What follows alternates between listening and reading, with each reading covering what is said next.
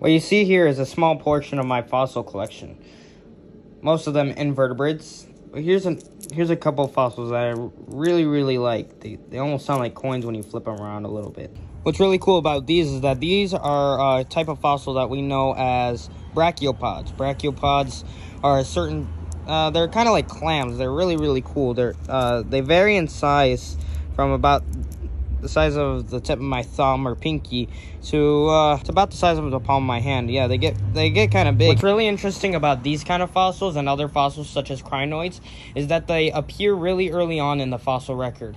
About 500, uh, 550 million years ago is when they first appear. Brachiopods and crinoids on the scene, and other invertebrates, also soft-bodied invertebrates, also appear on the scene about 500 million years ago uh, in the uh, in the fossil record, fully formed.